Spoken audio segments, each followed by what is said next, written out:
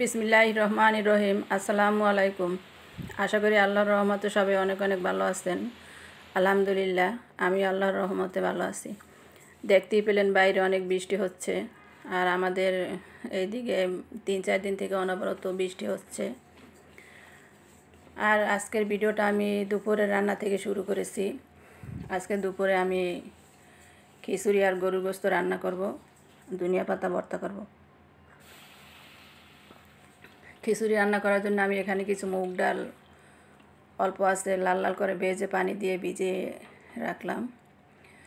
আর এখানে নিয়েছি কিছু পোলাওয়ের চাল আর মুসুরির ডাল।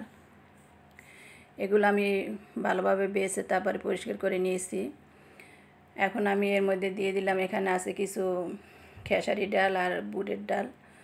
আর এই খেসারি ডাল আর বুটের ডালগুলো আমি কালকে রাতেই ভিজিয়ে রাখছিলাম। সেইগুলো দিয়ে আর আমি ভিজে রাখা মুগ ডালগুলো দিয়ে দিলাম। দিয়ে এখন পানি দিয়ে আমি চাল আর ডালগুলো ভালোভাবে ধুয়ে নেব। এই তো চাল আর ডালগুলো আমি ভালোভাবে ধুয়ে পানি জড়িয়ে রেখে দিয়েছি। আর এখানে আমি আগে গরুর গোস্ত ভিজিয়ে রেখেছিলাম। এই ভিজিয়ে রাখা গোস্তগুলো এখন আমি ভালোভাবে ধুয়ে নিব।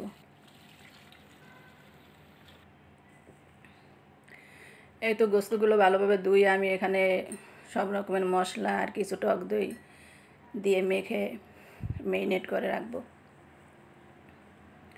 আমি মাং গোস্তগুলো সব রকমের মশলা দিয়ে মেরিনেট করে রেখেছি আর এখানে আমি ধনিয়া পাতা, কাঁচামরিচ আর রসুন একসাথে ভালোভাবে ধুয়ে নিয়েছি। এর মধ্যে আমি কিছু পেঁয়াজ কুচি দিয়ে তারপরে বেজে ভর্তা করে নিব। আর আমি এখানে প্যানে পরিমাণ মতো তেল দিয়ে এর মধ্যে গরম মশলা আর কিছু পেঁয়াজ কুচি দিয়ে দিয়েছি। এগুলো বেজে আমি এখন ম্যারিনেট করা মাংসগুলো দিয়ে দিব। আর আজকে আমি রান্না ওইভাবে শেয়ার করব না। আমি রান্না বসিয়ে রান্নার পাশাপাশি ঘর গুছিয়ে ঘরের কাজগুলো করে নেব। এই তো আমি গরম মশলা সব পেঁয়াজগুলো বেজে এর মধ্যে ম্যারিনেট করা গোস্তগুলো দিয়ে দিলাম। এখন নেড়ে আমি ডাকনা দিয়ে রাখব।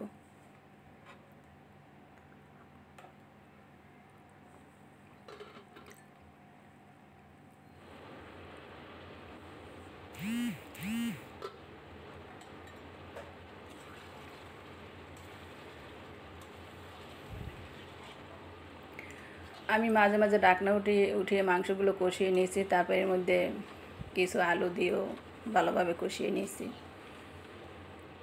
আর এখন এর মধ্যে আমি সেদ্ধ হওয়ার জন্য দিয়ে দেবো পরিমাণ মতো গরম পানি। গরম পানি দিয়ে আমি ডাকনা দিয়ে ডেকে রান্না করে নেব।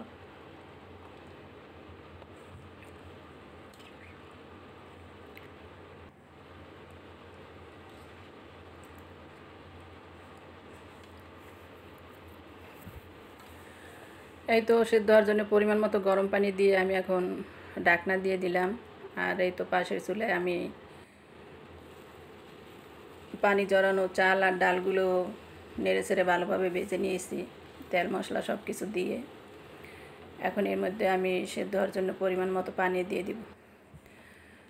আর ভিডিওর শুরুতেই বলে রাখি যারা আমার ভিডিওটা দেখবেন, প্লিজ লাইক দিয়ে দেখা শুরু করবেন, কমেন্ট করবেন।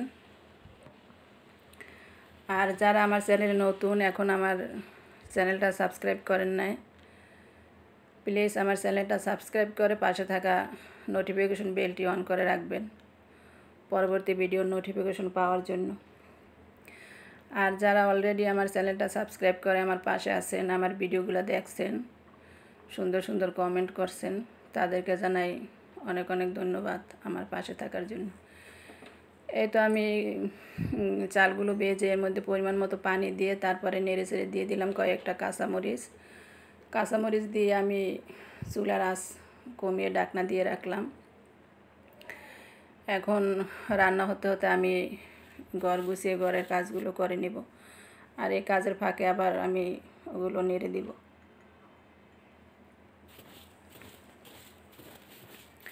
আসলে ঘরের কাজ তো অনেকই থাকে সব কিছু আমি শেয়ার করব না। অল্প অল্প মানে যা করি তার অল্প অল্প কিছু ভিডিও শেয়ার করব। আমি ঘরের সোফা গুছিয়ে নিয়েছি, বাকি যে দুইটা সোফা ছিল সেগুলো একটু জেরে তারপরে গুছিয়ে নিলাম। এখন আমি এই রুমের চাদর চেঞ্জ করে অন্য একটা চাদর বিছিয়ে বিছনাটা গুছিয়ে নিব।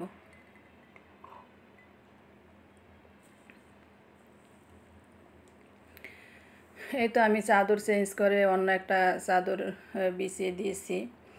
আর দেখা যায় কাজ করতে গেলে একটু সময় লাগে আর সময় ধরে ভিডিও করলে ভিডিও অনেক বড় হয়ে যায়। এই কারণে আসলে অতটা শেয়ার করি না। আর চাদর উঠিয়ে উঠিয়ে আমি চাদরটা জুড়িতে রেখে দিলাম কারণ চাদর আজকে ধুবো না ধুবো না। হ্যাঁ বৃষ্টির দিনে কাপড় চোপড় শুকাতে চায় না। অলরেডি কিছু কাপড় ভিজিয়ে রাখছি দেওয়ার জন্য, এই জন্য ওটা রেখে দিলাম। আর এই রুমের বিছনাটাও আমি একটু ঝাড়ু দিয়ে জেরে তারপরে গুছিয়ে নিব। আর এই বিছনা, এই রুমে কেউ থাকে না, আসলে বিছনাটা খালিই থাকে। মেহমান আসলে তারপর মেহমান থাকে। তো মেহমান তো আর সারা বছর থাকে না, এই কারণে আমি এখানে একটু একটা পুরান চাদর বিছিয়ে রাখি আর এটা রোজে আমি একটু জেরে তারপরে গুছিয়ে রাখি। না জানলে দেখা যায় জানালা দিয়ে দুলা এসে নষ্ট হয়। আর মেহমান আসলে আবার আমি অন্য চাদর বিছিয়ে দেই। তাই যেভাবে আছে ওইভাবেই শেয়ার করলাম। আর এই তো এই রুমে আছে কাঠের আলমারি, পাশে আছে স্টিলের আলমারি, তারপরে মেশিন আছে, অনেক কিছুই আছে এখানে, আমি এখন ফার্নিচারগুলো এক এক করে মুছে নিব।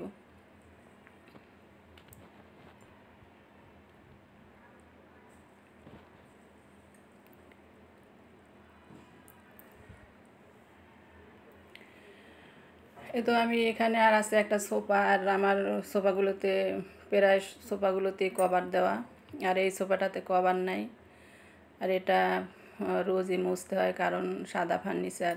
এর মানে ফাঁকে ফাঁকে দুলা ঢুকলে দুলার দাগটা আসলে থেকে যায়। এই কারণে ফার্নিচারগুলো রোজই মুছতে হয়। আমি এখানে কভার ছাড়া সোফাটা মুছে নিব।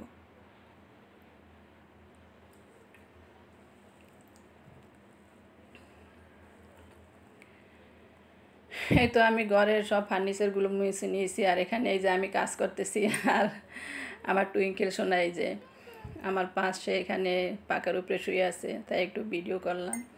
এই যে কীভাবে সে শুয়ে আছে, তার আসলে গরম লাগতেছে, বৃষ্টির কারণে তাকে গোসলও করাইতে পারতেছি না। আর ফার্নিচারগুলো মুছে আমি সমস্ত ঘরটাও মুছে, ঝাড়ু দিয়ে নিয়েছি, এখন আমি ঘর মুছে নিব, ঘরের রুমগুলো আমি মুছে নিয়েছি। আর এখন সামনের দিকটা আমি মুছে নিব। আর আসলে আমার বাসায় এই কাজগুলো খালাই করে, আপনারা অনেকেই জানেন। কিন্তু লকডাউনের কারণে খালা আসতে পারতেছে না। আর লকডাউনের সময় বাইরের লোকজন ভিতরে ঢুকতে দেয় না আমাদের এলাকায়।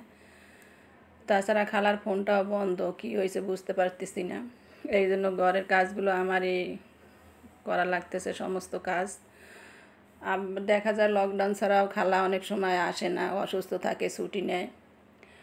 তখন ঘরের সমস্ত কাজ আমারই করতে হয় আর তখন আমি এইভাবেই কাজগুলো করি। দুপুরে রান্না বসিয়ে রান্নার পাশাপাশি ঘরের কাজগুলো করে নেই। তাহলে আমার কাছে সুবিধা হয়, যেমন রান্না করতে করতে এদিকে আমার ঘরের কাজও শেষ হয়ে যায়। আর দেখা যায় রান্না শেষ করে ঘরের কাজ করতে আসলে আবার দেরি হয়ে যায়। এই কারণে এইভাবেই আমি রান্না বসে ঘরের কাজগুলো করে নিই। এই তো আমি ঘর পরিষ্কার করে গুছিয়ে নিয়েছি। আর এদিকে কিন্তু আমার দুপুরের রান্নাও শেষ। রান্নারও আগেই শেষ হয়ে গেছে। আমি গরুর গোসলগুলো গরম করে নিলাম আবারও। আর এই যে খিচুড়িও রান্না হয়ে গেছে। এই তো এগুলো আমি কাজের ফাঁকে ফাঁকে এসে নেড়ে দিয়ে গেছি।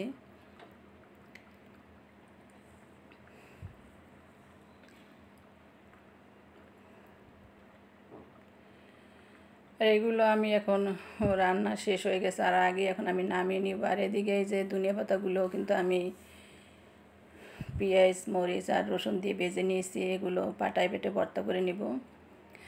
আর এখানে আমি কিছু কাপড় ভিজে রাখেছিলাম। কাপড়গুলো আমি ধুয়ে নিয়েছি। এখন এগুলো শুকো দিয়ে দিব। তা আমার ভিডিও এখানেই শেষ। সবাই অনেক অনেক ভালো থাকবেন, সুস্থ থাকবেন। আল্লাহ হাফেজ। আসসালামু আলাইকুম।